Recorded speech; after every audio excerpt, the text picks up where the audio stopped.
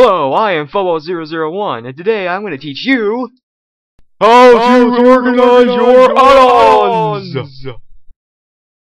Cutting right to the chase, whatever that's actually supposed to mean. Method 1. Delete add-ons you do not use anymore. If you have any add-ons that you do not use anymore, like for example, if you have like a couple of weapons or a map or something that you don't play on or don't use, then you should probably delete it from your add-ons. Like, soon. Because, you know, you don't want to clog up all those things and all the things you don't use anymore. It's like, no, I can't find out what I want to use. This is so irritating. I hate this. Uh, I'm to stop playing. Blah.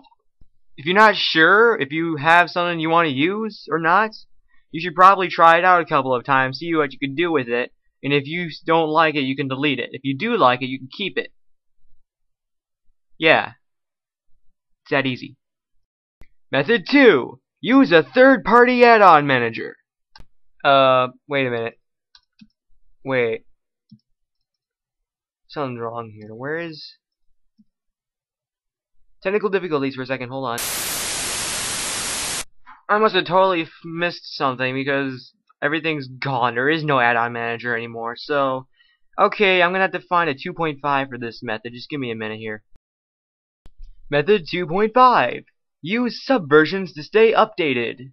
Using subversions, or SVNs, you can keep your add-ons updated with the absolute latest versions that released versions will not have. That's because SVNs are awesome. I personally use Tortoise SVN, but if you uh, really want to try something else, you can. There's a whole bunch of different SVN programs, but I use Tortoise because um, it's the easiest and most user-friendly and it's just overall has this cool SVN checkout thing. You should try it really quick. Method 3. Merge the add-on files with your main install of Garry's Mod. Caution, this might mess up some of your files, like if it's there's skins or something in the add-on. You will see what I mean in a second. If you're like me and you hate WireMod SVN because when you update your WireMod and put it in your add-ons, it just gets all funky with Garry's Mod because it takes like 5 minutes to load up, which is ridiculous. Uh, I haven't tested this yet, so I should probably go test it now really quick.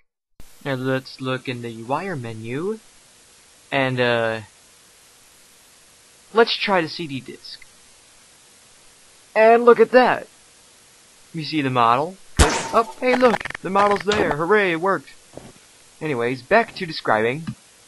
Merging files could sometimes mess up your installation sometimes, but doing it, however, will prevent Garry's Mod from having to load up all of your add-ons, which actually takes a strain on Garry's Mod by performance and load times. So the more add-ons you have, the longer load times you're going to have and the lower performance you're going to have overall. So yeah, and you just try to keep the add-ons at a little minimum there, alright buddy? Well, that about sums up the things you can do to optimize your add-ons, or organize them, in this case, or other cases. Um, uh, other cases. Anyways, that's not going to be a blooper. By the way, there's going to be a little blooper thing at the end of the video here. So, uh, anyways, thank you for watching this video, and I hope you, um, uh, learned some of the many ways you can optimize your add-ons. That's only a few off I know off the, um, uh, top of my head, and, uh, a lot of thought, but, you know, I hope you can find some use out of this video so then you, you didn't waste your time. Bye bye. oh my god, my throat. That hurts. Ow. okay, anyways, bye. Method 2. Ugh. God. Ugh. Method 2. Use an add-on manager. Fuck, wait a minute. Arg. Forgot to bat one part. Damn it. Using subversions, or SVNs, you can stay, or keep your... Uh, darn it. Me and my random stammering and improvised talks. Or talking. Yeah, I'm just gonna go leave now. Dude. Method 2. Using an third-party add-on... Uh, using subversions, or just SVN, you can stay, keep your, um, fuck, damn it. Using subversions, or SVNs, you can... well, that about sums up the ways you can um, use, you know... Ah, fucking